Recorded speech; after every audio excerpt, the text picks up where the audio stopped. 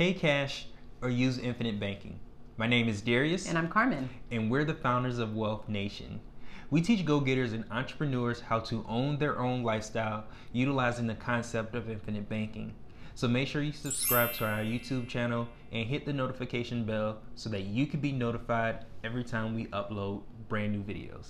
So, the, in addition to that, make sure that you check out our Patreon page because that's where we have all exclusive content regarding how to incorporate infinite banking into your lifestyle. Mm-hmm. And we don't teach this anywhere else.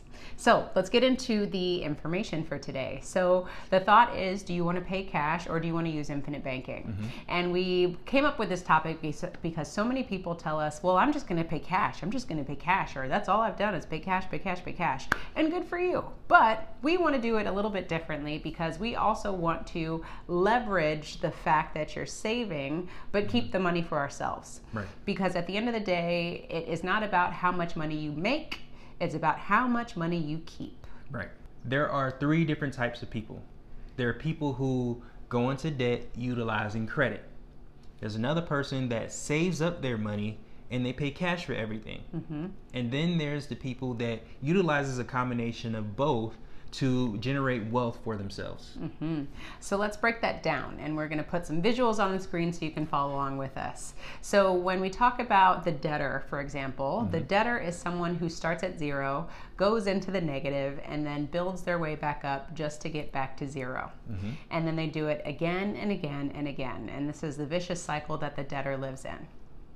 then you have the person on the opposite end of the coin, which saves their money on a monthly, annual basis. They save their money in order to make that purchase that they want. Mm-hmm. They make that purchase and then they deplete the amount of cash that they built up to get this in the first place. Mm-hmm.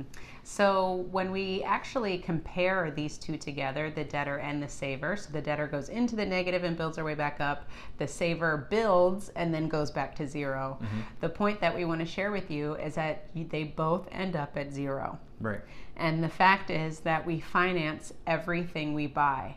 So, regardless if you finance items through a third party institution or you're self financing, mm-hmm. either way, you're making monthly payments to either pay off something or to be able to pay uh, to pay something. Mm-hmm. So we want to show you that because when we talk about the debtor and the saver, they both end up at zero. So what's the difference? Well, the difference is when you become someone that is utilizing a combination of both things, you become a wealth creator. Mm. So, yes, they are still saving the cash, but instead of utilizing that cash and depleting those funds, they utilize that as collateral to borrow money from other people. Mm-hmm. When they borrow money from OPM, they pay that principal and interest back to themselves and they continue to build on it every single month or every single period that they decide to make those payments back to they, themselves. Exactly. So when we're talking about savings, there's nothing wrong with savings and paying cash. We just want to take it a step further where we're still saving money, but we're using that leverage of the mm-hmm. money that we've saved up so that we can use someone else's money, spend it, and then keep ours growing. Right. So when we're talking about infinite banking, it's all about putting your money into a life insurance policy that earns a guaranteed 4%, the money that you're saving, putting that into your premium and mm-hmm. allowing that money to earn that guaranteed interest rate.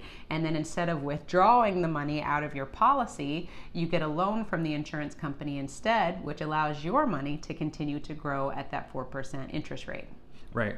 And by doing that, you are indeed stepping into the wealth creators uh, lifestyle or way of going about working their finances because as your money sits you're adding money on top of that so that you can further collateralize and utilize in your lifestyle. Mm-hmm. So, we hope that this information was helpful for you today because, again, we just want to continue to help you all wrap your head around infinite banking and why would you even do it in the first place. So, today we were just talking about cash versus infinite banking. Mm-hmm. Make sure you follow us on Facebook and Instagram, and also check out our Patreon account where we go over exclusive content about fitting infinite banking into your lifestyle. And remember to own your own lifestyle, or someone else will.